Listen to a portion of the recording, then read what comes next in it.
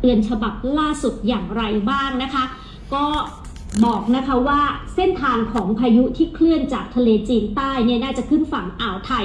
อิทธิพลจากที่เมื่อสักครู่เราให้ดูไปว่าน่าจะเป็นชุมพรกับที่สุราษฎร์หนักๆ แต่ว่าอุตุก็เตือนในหลาย ๆ พื้นที่นะคะ ตั้งแต่วันพรุ่งนี้ไปจนถึงวันที่ 4 มกราคมที่ต้องระวังกันเนี่ยก็คือที่ชุมพรสุราษฎร์ธานี นครศรีธรรมราช พัทลุง สงขลา ปัตตานี ยะลานราธิวาสกระบี่ตรัง แล้วก็สตูลนะคะ และถัดไปก็คือช่วงวันที่ 4 แล้วก็ 5 เนี่ย ก็จะเริ่มเคลื่อนเข้าไปทางฝั่งของอันดามันมากขึ้นนะคะ ก็จังหวัดแถบนั้นที่ต้องระวังนะคะ ก็อย่างเช่นที่ภูเก็ตกระบี่รวมทั้งตรังแล้วก็สตูลด้วยนะคะ ซึ่งทางคุณภูเวียงประคำมิน ท่านเป็นรักษาการอธิบดีกรมอุตุนิยมวิทยานะคะบอกว่าปลาบึกนั้นตอนนี้ถือว่าเป็นพายุโซนร้อนลูกแรกที่เข้าสู่อ่าวไทยตั้งแต่ช่วง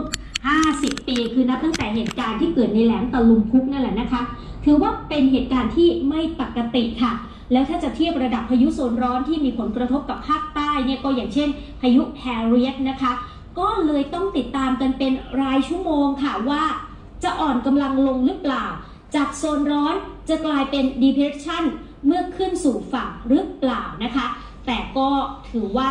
อยากที่จะให้เตรียมรับมือกันไว้นะคะเอาอิทละธิพลของพายุตอนนี้นะคะ ก็คือน้ำท่วมฉับพลัน แล้วก็อาจจะต้องระวังเรื่องของน้ำป่าไหลหลาก แล้วก็ดินโคลนถล่มด้วยนะคะ เพราะว่าพื้นที่ของสุราษฎร์แล้วก็ชุมพรเนี่ยก็เป็นพื้นที่ที่บางช่วงเนี่ยก็เป็นเขาด้วยเช่นเดียวกันนะคะ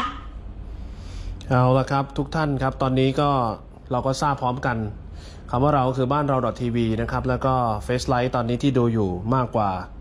กี่พันล้านชีวิตก็ไม่รู้ที่จะมารับรู้เรื่องนี้ในอนาคต ผม TTM Titan Man นะครับก็อยากจะแจ้งทุกท่านนะครับ ว่าเมื่อประมาณสักสองทุ่มมีผู้ที่ติดตามผลงานลุงออก ก็คือครอบครัวบ้านเรา .tv ผู้หญิงท่านหนึ่งโพสต์ขึ้นมาว่า ให้ขอให้ลุงออกได้ช่วย ทางภาคใต้เรื่องของปลาบึกเนี่ยแหละครับ ซึ่งลุงออกก็ยังไม่มีข้อมูลเบื้องต้นนะครับว่ามันคืออะไร แต่ในขณะเดียวกันที่หลังจากนั้นไม่นานก็มีการข้อมูลมันก็ทะลักเข้ามาในโลกออนไลน์นะครับ ก็ทราบว่ามีความรุนแรงถึงขนาดว่าไม่ปกติเมื่อกี้นักข่าวบอกไม่ปกติ ผมก็เลยมาหาข้อมูลเบื้องต้นนะครับ แล้วก็มีหลังไมค์เข้ามา จากเพื่อนสมาชิกของครอบครัวเราก็เข้ามา เพิ่มเติมข้อมูลเบื้องต้นนะครับ ว่าจะต้องติดต่ออะไรแบบไหนหรืออย่างไรหรือจะทำอะไรได้บ้างนะครับ ซึ่งตอนนี้นะฮะผมก็อยากที่จะบิ้วทุกคนนะครับ เพราะว่าผมถือว่าสมบัติสมบัติของบ้านเราดอทีวีเนี่ยนะครับ เราใช้สิทธิ์ของความเป็นสมบัติของบ้านเราเพราะมีใครสักคนหนึ่งในครอบครัวเราเข้ามาแจ้งข่าว ตอนนี้สิ่งที่ผมต้องการ